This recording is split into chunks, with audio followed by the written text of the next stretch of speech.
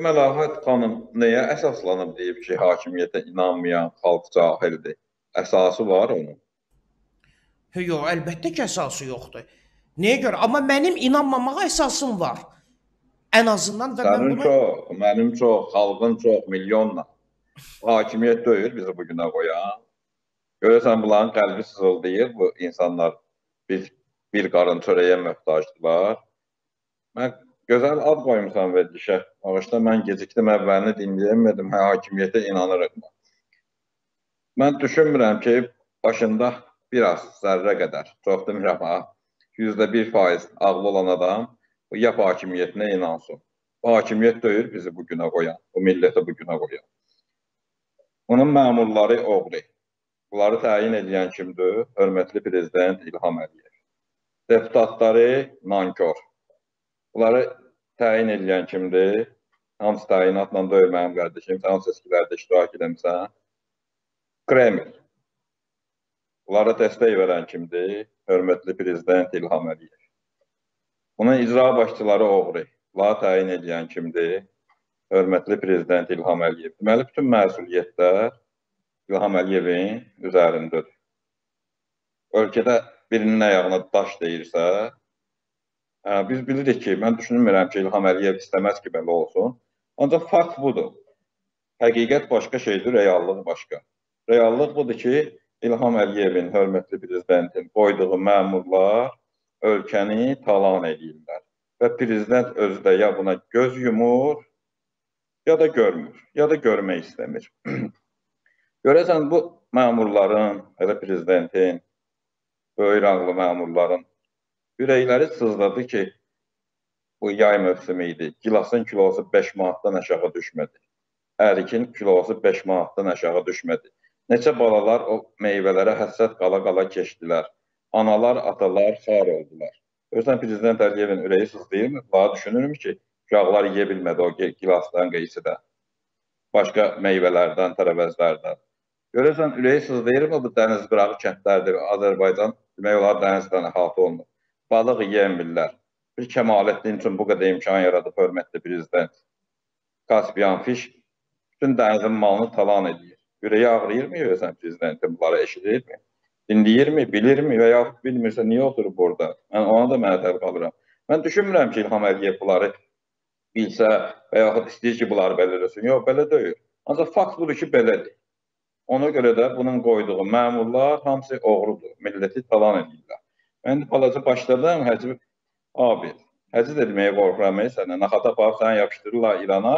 Ancaq mən buradan şahidəm, Allaha da şahid götürürəm ki, bu Abid Qafarovun və bizim ətrafımızda olan hər bir dostun, qardaşın İranla, başqa qıraq dövlətlə heç biri ilə əlaqəsi yoxdur. İslam Abid bəy 44 günlük müharibə vaxtında İlham Əliyevin o cəngavər çıxışlarından sonra çoxları, demək olar bütün xalq düşündü ki, İlham Əliyev, hörmətli prezident, dəyişiklik edəcək ölkədə.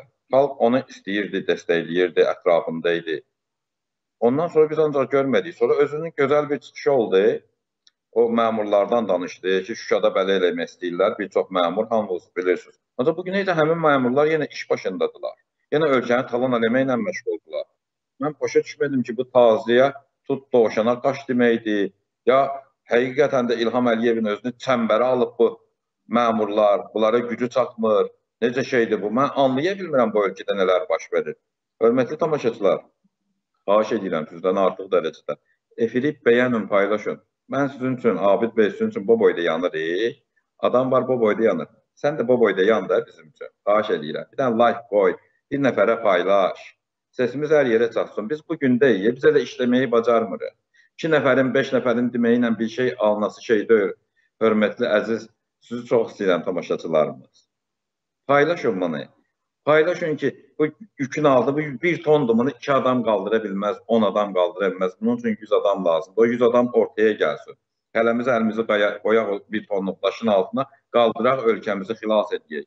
Yoxsa Azərbaycan qızı ələ harasıdır bu? Millətin 50% fahişədir. Cavan qızların. Düz istəmə bu reallıqdır. Bunlar sabah ana olacaq, bunların evlatları vətənpərvər olacaq, səfələniblər dünyanın hər yerinə. 3 milyon insan Rusiyada soğuğun, qarın, qışın altında 3 manat pul qazanır ölkəyə göndərir. 700-800 min Avropada. Pis gündə. Ölkə boşalır. Kim eləyir bunu? Azərbaycan hakimiyyəti. Niyə qabağını almır? Çünki oğrudular.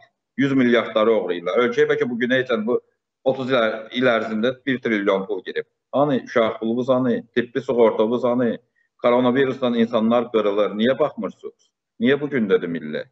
A deyiləsə o da dərd var ki, niyə nazirlərimizin otelləri, bu şəhərdə gedəndə baxın, Bakı şəhərində yaşayanlara müraciət edirəm. Binalara baxın, bulvar qırağı gedəndə bulvarın qırağında o bahalı izdihamlı o Tağıyevin, Musa Nağıyevin tikdirdiyi binalara baxın, hamısı qaranlıqdır.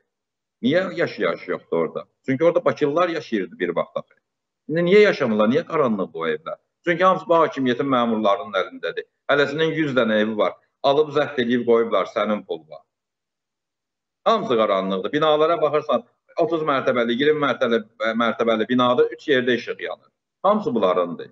E niyə gedib insanlar 3 manata günü sabunçuda gecə kondularda yaşayırlar, suraxanada gecə kondularda yaşayırlar? E, buna hakimiyyət eləyir. Çünki sənin şöhrətindən Kufə deyilən bir şəhər var. O nə deyir o Kufənin adı? Sakitlik deməkdir. Bəli, susqunluq, susqunluq. Səssizlik. Sən də Kufə əhlinə dönmüsən səssizlik yaratmısan, haqqını tələb eləməmisən. Ona görə də anamızı ağladıblar. Sənə görə qurunun otuna yaş da yanır. O üçün haqqını tələb eləyəcəksən. Bu ölümlü dünyada deyirik buradan. Həmin dənşər atıb tuturarlar adamı. Bunlardan nə düşün çıxar? Ə, cəhənnəmə tuttursun. Bir Ramin gedər, yüzü gələr. Bir Abid gedər, yüzü gələr. Daha da yaxşıdır. Olmadı bu ki, ölkəmizi dağıdırlar, talan edirlər.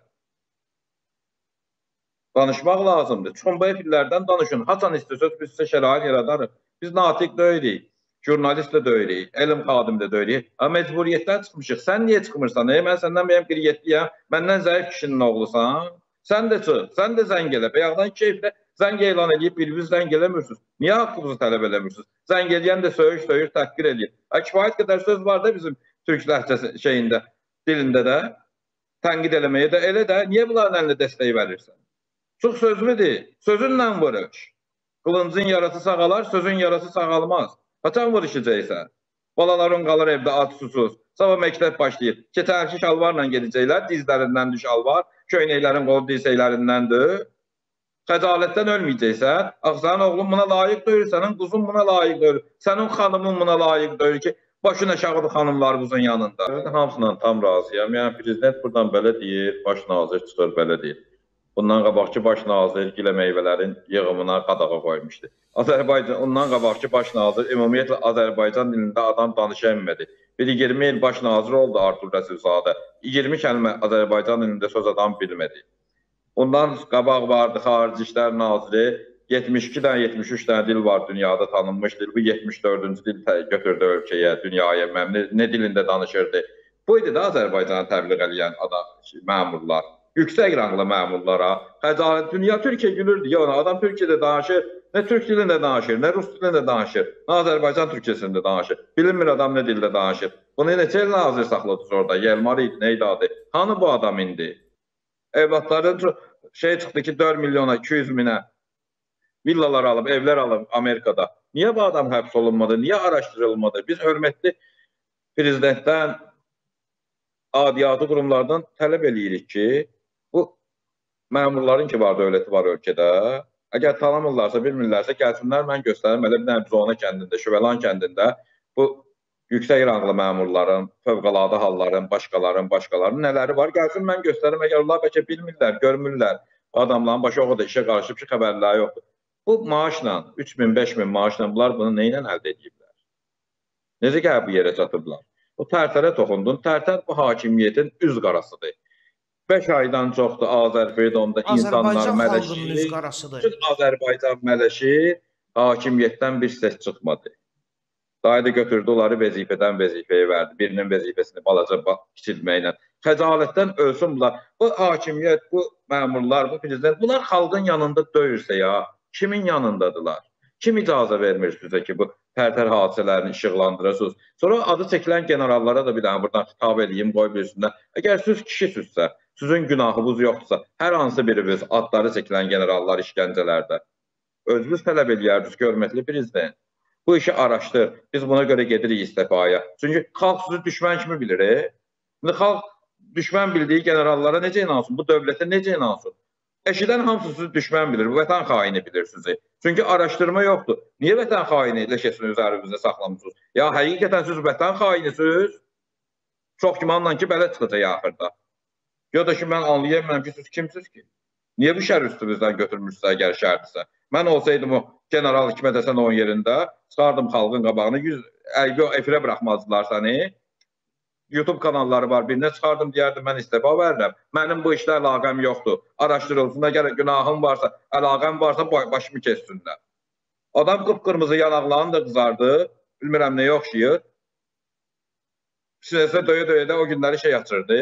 Sonra da qismət olmadı həmin hərbi hissədə qalsın hakimiyyətli eləsin, göndərdilər onu bu yana. E, ağır olsun, ayıb olsun bunlara. Biz bizdən Dəliyevə müraciət edirik. Bu tərtər analarının sesini hay ver, atalarının, qardaşlarının sesini hay versin. Hörmətli vitse-prezident Mehriban xanıma müraciət edirik. Onların sesinə hay verin. Bu xalqa sığının. Xalqla bir olun. Əgər bu məmurlar ki, belə özbaşınalıq eləyirlərsə, sizin sərəncamları saymırlarsa, öz bildiklərini edirlərsə, sığının xalqa, xalqı çağırın, bunları hamısını məhv eləyək, anasını ağladaydı da. Sən də ol prezidentdə kim nə deyirsən ki, bu ki, 10 milyon insan prezident olmaq istəmir ki. İnsanlar rifah içində normal şəraitdə yaşasınlar da. Bu dövlətin təbii sərvətləri insanlar arasında ədalətlə bölünsün də. Daha 30 dənə, 50 dənə, 100 dənə nazirin arasında yox da. Lan arvadları alt paltarlarını yüz minlərlə pul xərcləyirlər, ətirlərinə milyonlarla pul xərcləyirlər. Ancaq uşaq üçün gilas almağa ata, ana xəcalət çəkir, ala bilmir. O da bir ayda o gilassız onu, əriksiz onu.